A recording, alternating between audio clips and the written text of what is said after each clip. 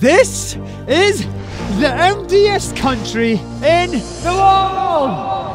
No one lives here. Here. Or here! The country is so big, but only 57,000 people live in it. And I found them! Welcome to.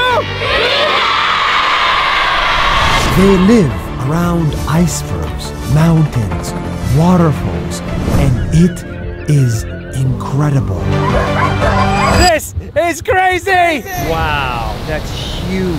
There is no traffic, no skyscrapers, no noise. There is only you and very friendly locals who are one with nature. Just listen to their prime minister. In Greenland, we are one with nature. Sometimes it's good to take a break from humanity. Let's look at it!